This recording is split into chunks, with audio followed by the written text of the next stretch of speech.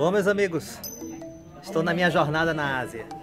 Dessa vez num país muito interessante, fascinante, super exótico, chamado Myanmar, antiga Birmânia, que foi colônia britânica durante quase um século. Estou numa cidade chamada Bagan, que foi capital na antiguidade de um grande império que foi muito poderoso, chamado Império Bagan, e essa foi a sua capital. Myanmar fica geograficamente entre a Índia, entre a China, entre a Tailândia e a Malásia. E é um país de riquíssimas tradições culturais e de uma influência muito grande do budismo. Essa cidade que eu estou é famosíssima pelos seus templos.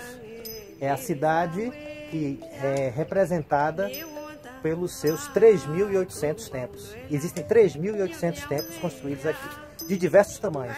Alguns do tamanho de um ônibus, outros do tamanho de uma pirâmide asteca é, que a gente encontra no México.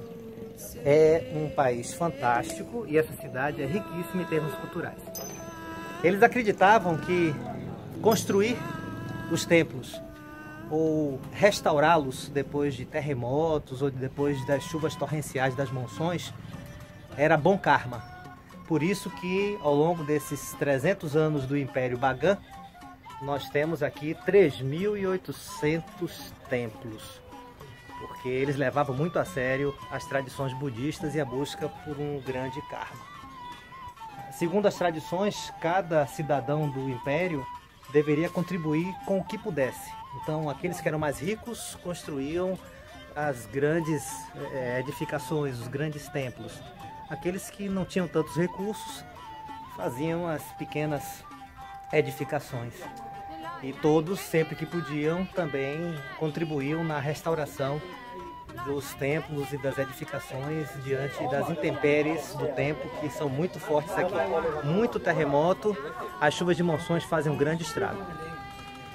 E assim como nas outras passagens aqui na Ásia, eu acho que a gente pode concluir algumas coisas bastante interessantes através dessas analogias com a história. Essa minha experiência aqui em Mianmar me fez refletir sobre algumas questões que podem ser muito úteis nas nossas vidas. Primeiro, eu conheci vários templos, visitei vários aqui a pé. Alguns a gente pode subir, como esse que eu estou, outros a gente fica só na parte de baixo. Mas quando a gente está próximo do templo, a gente só consegue enxergar esse templo, ou então quatro, cinco que estão ao seu redor. Então consegue ter a dimensão de que existem 3.800 templos aqui nessa região.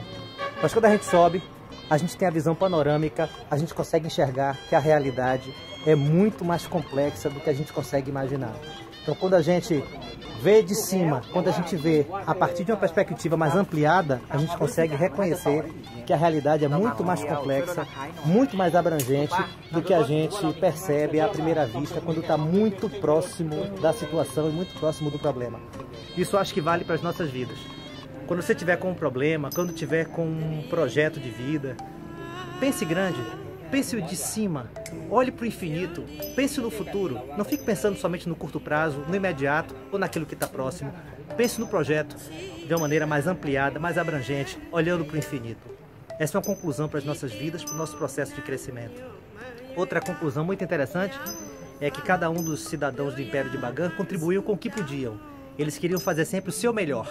Eles não ficavam competindo entre si, não ficavam olhando para o outro e disputando quem fazia o maior templo mas quem tinha mais recursos dava mais, quem tinha menos recursos dava o que podia. Eu acho que isso é interessante para as nossas vidas. Tente fazer sempre o seu melhor. Não tente querer simplesmente superar o outro por um espírito competitivo, egocêntrico, narcisista. Precisamos muito mais de pessoas que estão em busca de crescer como sujeitos, de evoluir constantemente e que possam contribuir com o seu melhor. Isso vale para o time de futebol, isso vale para as nossas famílias, isso vale para as relações no ambiente de trabalho. Um verdadeiro time é aquele que todos dão o seu melhor e não aqueles que tentam superar os outros de maneira competitiva, destrutiva, egocêntrica e antiética. E a terceira conclusão importante é que esse sítio arqueológico é um sítio muito vulnerável a questões geológicas e climáticas. Muita chuva, chuvas torrenciais aqui de julho a outubro. Terremotos sistematicamente ocorrem aqui, é uma área sísmica. Mas a comunidade está sempre restaurando, sempre consertando, sempre viabilizando que esteja aprimorando esse complexo de templos que expressa a espiritualidade desse povo, desde aquela época até hoje. Eu acho que essa é uma mensagem muito interessante para as nossas vidas. A gente não consegue terminar tudo de uma vez. A gente não consegue estar tá pronto, definitivo e acabado. Nós, seres humanos, somos como esse complexo de templos. Estamos sempre precisando de renovação, de melhoria, de transformação. Sempre temos momentos de queda, momentos que o terremoto nos pega, momento que a chuva atrapalha.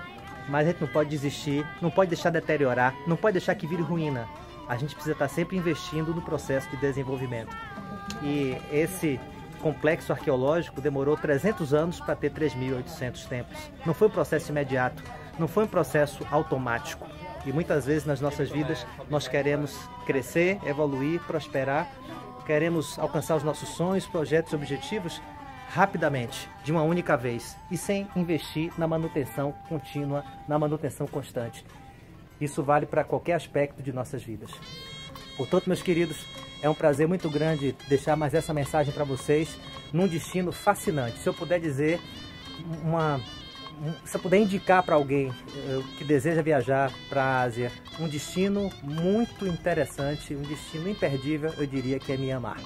E aqui em Bagan, analisando essa realidade dos 3.800 tempos, nós podemos perceber que sempre nós temos que investir da manutenção nessa busca de melhoria da nossa capacidade de lidar com os desafios da vida. Sempre devemos analisar os processos no longo prazo, de cima, numa perspectiva de longo prazo, e nós precisamos reconhecer que cada um deve fazer sempre o seu melhor, dar a sua contribuição dentro da sua potencialidade e deixar de ter essa postura competitiva, arrogante, destrutiva e se comparar sempre com o outro para querer fazer mais melhor do que o outro.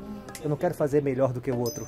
Eu quero fazer sempre o meu melhor e contribuir da maneira mais efetiva para que nós possamos ter um ciclo de crescimento, de desenvolvimento e de melhoria. Isso vale para nossas vidas pessoais, vale para os nossos grupos, para as organizações, vale para as nossas sociedades. Beleza? Aqui em Bagan, na minha jornada na Ásia, deixando essa contribuição para vocês.